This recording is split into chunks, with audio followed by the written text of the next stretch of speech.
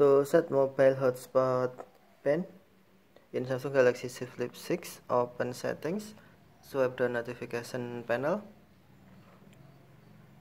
and then tap settings icon. Select connections,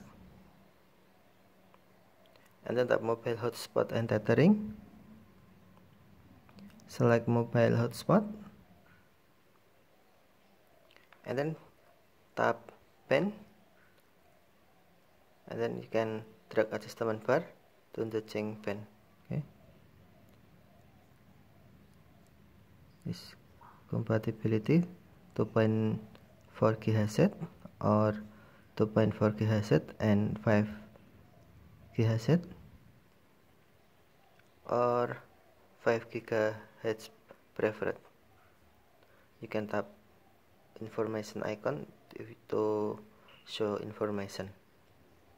Okay thank you for watching. Have a nice day